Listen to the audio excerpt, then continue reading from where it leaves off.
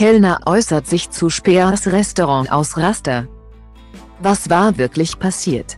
Vor wenigen Tagen hatte Britney Spears, 41, für mächtig Aufruhr gesorgt.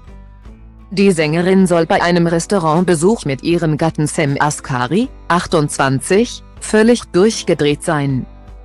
So hatten Beobachter behauptet, dass die Everythime-Interpretin manisch gewirkt und laut geschrien habe. Bevor sie wenige Minuten später das Lokal verlassen hat. Nun meldete sich der Kellner des Restaurants zu Wort und nahm Britney in Schutz. Auf Twitter schilderte der Service-Mitarbeiter, was sich tatsächlich an dem Abend abgespielt haben soll. So betonte er, dass die 41-Jährige lediglich frustriert darüber gewesen sei, dass andere Gäste ihre Privatsphäre nicht respektiert hatten und versucht hatten, sie zu filmen.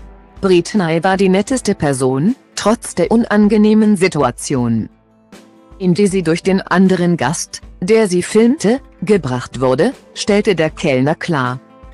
Auch die zweifache Mutter hat sich bereits zu dem Vorfall geäußert. Ich weiß, dass sich die Öffentlichkeit darüber aufregt, dass ich ein bisschen betrunken in einem Restaurant war. Es ist so, als ob sie jede meiner Bewegungen beobachten würden, hatte die Musikerin auf Instagram geschildert.